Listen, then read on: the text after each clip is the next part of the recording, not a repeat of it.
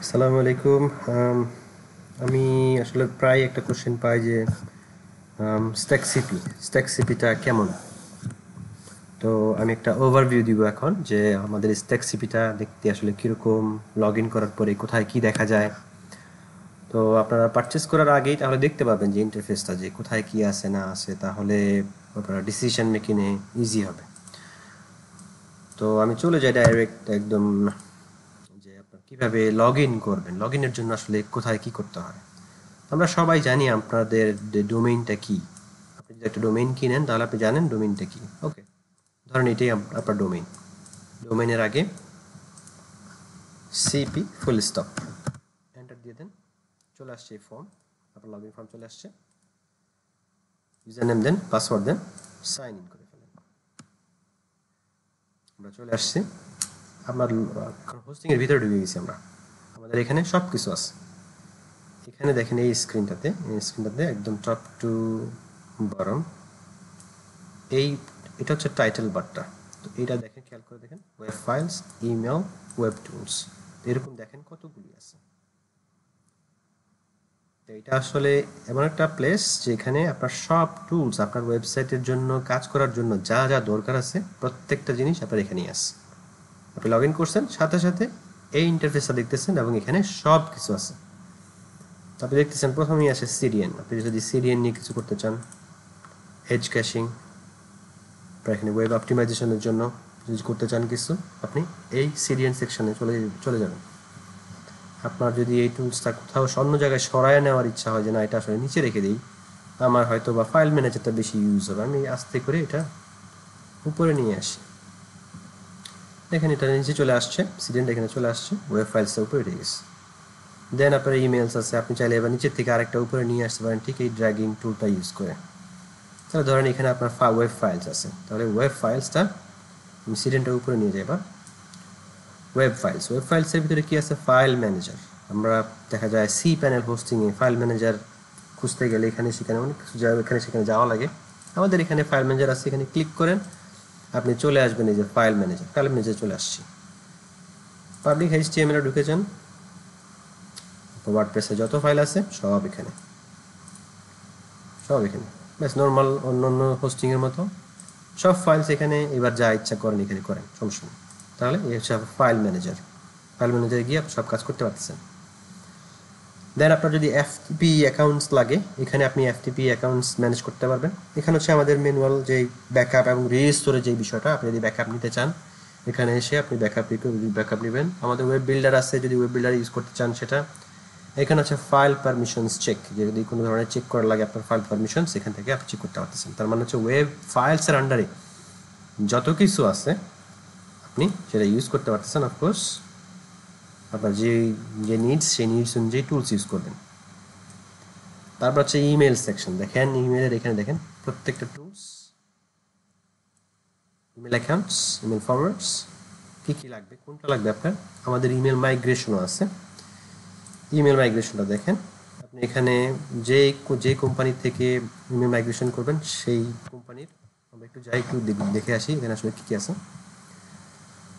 আপাতত এখানে কিছু দেখাচ্ছে না বিকজ আমাদের কোনো মেইল ক্রিয়েট করা নাই। যদি মেইল ক্রিয়েট করা থাকতো অলরেডি এক্সিস্টিং ইমেল তাহলে এখানে আমাদেরকে দেখাতো। যাক, আমরা একটা ইমেল ক্রিয়েট করি দেখি। আমরা একটা ইমেল ক্রিয়েট করলাম। ইনফো ক্রিয়েট দেখেন ইমেল ক্রিয়েট করা হয়ে গেছে। ইমেল ক্রিয়েট করা হয়ে গেছে। ইনফো দিছি অলরেডি যেমন দেওয়া আছে এখানে, দেখাচ্ছে এখানে, এই যে পাসওয়ার্ড আমাদের পাসওয়ার্ড সেভ যদি পাসওয়ার্ড আবার চেঞ্জ করতে চান, এখানে এসে জাস্ট পাসওয়ার্ড দিয়ে সেভ দিয়ে দিবেন। That's it new password save হয়ে যাবে। এখন আমরা এই পেজে আবার চলে আসি। দেখি এখন কি দেখাচ্ছে এখানে আমাদেরকে। এখন দেখেন এখানে কি আসছে। এখন অপশন আসছে বিকজ আমাদের অলরেডি একটা ইমেল ক্রিয়েট আছে। দেখেন। এখন আপনি কীভাবে মূলত ইম্পোর্টটা করতে যাচ্ছেন?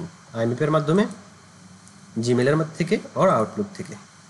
জিমেইল আর আউটলুক হলে একদম ইজি জাস্ট ইউজার নেম আর পাসওয়ার্ড দিলেই সে অটোমেটিকলি করে নেবে। তাহলে আপনার জিমেল থেকে আমি আনতেছেন জিমেল ইউজার নেম পাসওয়ার্ড দেন।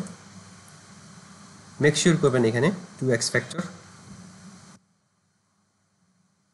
আপনার এটা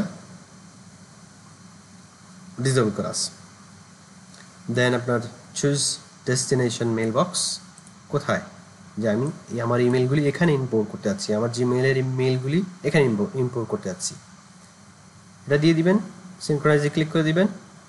দেখবেন আপনাকে এখানে দেখাবে স্যারা যেটা প্রসেসিংয়ে আছে। যখন কমপ্লিট হয়ে যাবে let's say for example after maybe thirty minutes or forty minutes maybe one hour after one hour এখানে এসে চেক করবেন স্ট্যাটাস যে কী অবস্থা।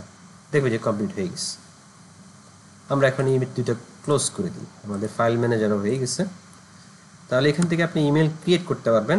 এখানে হচ্ছে বাকিগুলি অপশনগুলি দেখতে পাচ্ছেন যে কোনটা দিয়ে কি। আপনারা একটু ডিটেলস দেখে নিতে পারেন ইনসাইট ইমেল মাইগ্রেশন আমি দেখাই দিলাম। মেইনলি এখানে এটা আর এটা ইউজ হয়। সামটাইমস এটা আমি ইউজ করি। এইগুলি আমার আসলে সোফার প্রয়োজন হয় নাই বাট স্টিল আপনাদের যদি লাগে, আপনারা দেখতে পারেন। অপশনগুলি দেন আছে এখানে ওয়েব টুলস আপনাদের পিএইচপি মাইডমিনের যে কাজ আছে, এখান থেকে পিএইচপি মাইডমিনে যেতে পারেন। এখানে আছে আপনাদের যে ডাটাবেস ডাটাবেস এখানে ক্লিক ক্রিয়েট করতে পারবেন। এখানে এসে, ইচ্ছা মতো ডাটাবেস ক্রিয়েট এখানে এখানে আপনার পিএইচপি ভার্সন আপনি চেঞ্জ করতে পারবেন যে, ঠিক আছে, আমার এখন পিএইচপি ভার্সনটা কত, আমি এটা চেক করি। তো আমাদের by default seven point zero থাকে, আপনি এখান থেকে এসে সেভেন পয়েন্ট ফোর বা যেটা আপনার লাগে চেঞ্জ করে দেন। ডান সাকসেসফুল দেন আপনার এখান থেকে মূলত বাকি জিনিসগুলি আছে। সেম ডোমেইনস এখানে ডোমেইনের যদি কোনো কিছু আপনার করা লাগে, আপনি ডোমেইনের আন্ডারে ডোমেইন পাবেন। অ্যাড অন ডোমেইন যদি আপনার অ্যাড করা লাগে ডোমেইনসের ভিতরে ঢুকে আপনি অ্যাড অন ডোমেইন অ্যাড করবেন। Sub domains sub domain create করতে হলে আপনি এখানে ঢুকে সাব ডোমেইন ক্রিয়েট করবেন। ম্যানেজ ডিএনএস আপনার ডিএনএস যদি কোনো কিছু করা লাগে, এখান থেকে করবেন। দেন আপনার আছে সিকিউরিটি আপনার এখানে এসএসএইচ অ্যাক্সেস আছে হট লিঙ্ক প্রোটেকশন আছে, আপনার এসএসএল সার্টিফিকেট যদি আপনি অ্যাক্টিভেট করতে চান, এখানেই আছে ম্যালোর স্ক্যান আছে এখানে পাসওয়ার্ড প্রোটেকশন ডাইরেক্টরি তাহলে এই সিকিউরিটি আন্ডারে আপনি এই অপশনগুলি পেয়ে যাচ্ছেন। লগস অ্যান্ড স্টেটসের ভিতরে আপনি পেয়ে যাচ্ছেন এই টুলসগুলি যখন আপনার লাগবে আপনি ইউজ করবেন। দেন আমাদের আসছে যে এই সেকশনটা সেটা হচ্ছে ওয়ান ক্লিক ইনস্টলস এখানে দেখেন অনেকগুলি আছে। আপনার যেটা লাগবে, সেটা এখান থেকে ক্লিক করে আপনি জাস্ট খালি যেমন আমি দেখো ওয়ার্ডপ্রেসটাই দেখাচ্ছি। ওয়ার্ডপ্রেসটা ক্লিক করলাম। এখন নেক্সট স্টেপ চলে আসছে যে আমি হ্যাঁ আমি ওয়ার্ডপ্রেস ইনস্টল করতে যাচ্ছি। তো এখানে ডোমেইন অলরেডি সিলেক্ট করা আছে। আপনার যদি অ্যাড অন ডোমেইন থাকে, আপনি সেকেন্ড যে ডোমেইনটা বা থার্ড যেই ডোমেইনটা আপনি সেই ডোমেইনটা সিলেক্ট করবেন, করে ইনস্টল দিয়ে দেবেন। দ্যাটস ইট এটা ব্ল্যাঙ্ক থাকবে। আপনার এটা যদি এখন আমাদের একটা ডোমেইন আছে, একটা ডোমেইনের ক্ষেত্রে জাস্ট ডোমেইনটা সিলেক্ট করবেন ইনস্টল দিবেন, এটা ব্ল্যাঙ্ক থাকবে। দ্যাটস ইট ডান আমরা চলে যাই ব্যাকে তাহলে দেখেন, আমাদের এখানে এই পর্যন্ত, একদম টপ টু বটম এই পর্যন্ত আমাদের যে যেই সেকশনগুলি ছিল, দেখেন। প্রত্যেকটা কমপ্লিট ওয়ার্ডপ্রেসটা একদম সবার শেষে দেখে নেন মোস্ট পপুলার যেটা কিনা আসলে আমাদের সবসময় লাগে। ওয়ান ক্লিক ইনস্টলেশন তাহলে মোটামুটি আমার মনে হয় যে একটা ধারণা হয়ে গেছে যে আসলে এখানে মোটামুটি কি আছে। আমাদের এখানেও দেখতে পান আরও যে ইনফরমেশন এখানে দেওয়া আছে, যে আমাদের অ্যাকাউন্ট ইনফরমেশন এখানে দেখাচ্ছে আমাদের ডোমেইন এখানে দেখাচ্ছে যে আমাদের কোন হোস্টিং প্যাকেজটা ইউজ করা হয়েছে এখানে। এখানে one website unlimited Linux platform বলতেছে লিনাক্স দেন আপনি এখান থেকে জাস্ট ওয়েবসাইট ভিজিট করতে পারতেছেন। হোম পাতে দেখাই দিচ্ছে কোথায় আপনার এই সাইটটা আছে। এখানে আইপি অ্যাড্রেস ইনফরমেশন আপনার মেইলের ইনকামিং আউট গোয়িং দেখাচ্ছে। আপনার আপনার এফটিপি যদি এখানে আপনি আনলক করতে চান, এখান থেকে করতে পারবেন।